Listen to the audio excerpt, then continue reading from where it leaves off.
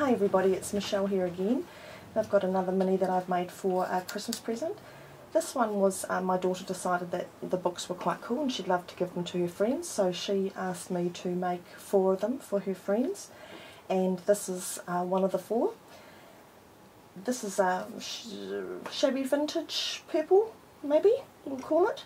Um, I've just um, used the paper line here and uh, created a, a, flower with the Tim Holtz Tattered Florals, which I'm getting for Christmas, and Father Christmas kindly let me play with it before the big day, so um, I could make one, I really love it. It's going to be a lot of fun. Uh, just did a duct tape binding on the end and made a super simple envelope mini, which you will see. Um, it I wanted to make uh, these quite simple because as I said I was making four of them and, and time was uh, starting to struggle on so this one's nearly done. It's going to be really, it's not embellished at all but it's going to have a few light embellishments but not too much. My daughter's going to put pictures in it to give to her friends. So I've just created um, lots of contrast with the paper and the paper is in my mind's eye and it's a really old one. Um, the good thing about being new to this this game is that all the papers are new to me, um, and but it's actually called um, Girl 2009, so it might not be around much anymore, but it's got these lovely uh, vintage papers and really pretty colours and things. So uh, the only thing I had to go on for this was my daughter said, oh, she likes purple, so purple it is. So um, just taking the purple and then just a touch of green in the paper that I chose to all go together and made this envelope mini, another really super simple mini for um, newbies. So um, if you haven't, if you're watching videos and you haven't made anything yet, this is a really good, easy thing to make.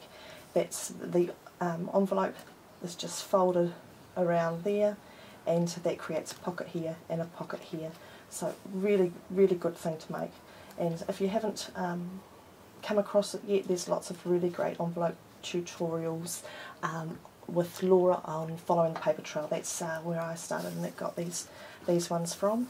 So just made some little bands to slide some photos behind and some more tags and then these tags all come out of the pockets at the end and uh, they've all got just little contrast bands at the top to just to make them a bit more interesting and they all go through there so really nice simple little mini and uh, nearly nearly finished but I need to film it today because my son's here and I am completely hopeless. I filmed three videos and managed to make them so blurry that you couldn't see anything in them at all so I need to make them when my son's around because he's the, the film expert.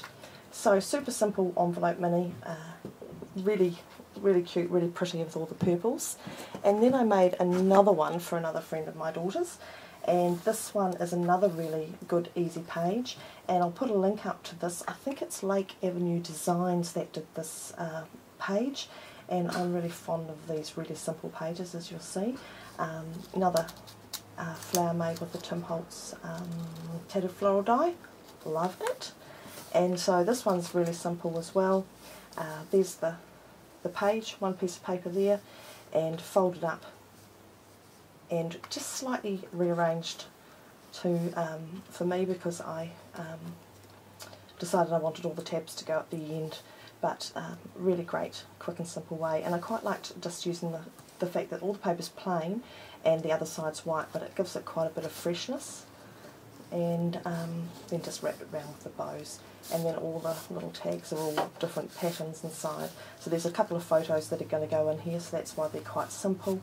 And um, just got some flowery, flowery text to go in here. And as I said, my daughter's going to be sticking photos on all of these. Oops, I've lost a tag. And um, got a couple more bits and pieces to go in different places. But another really simple one, and uh, it, it just binds itself. So if you, um, when you cut out this the page, you create this pocket and this pocket and then that tab comes across and joins to your previous page. So it's a really good, quick, easy one to bind and really good, quick, easy one to get three pockets out of.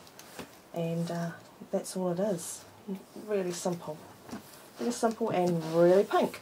So this was for a friend who likes pink and girly. So we had a pink and girly one and we had a purple one. So that's two more. two more Christmas presents done. So hopefully they will really like them and uh, hope you like them too. Thanks for watching and uh, if you've got any questions please ask and love to hear from you, love your comments and hope you're all having a wonderful holiday season. Thank you. Bye now.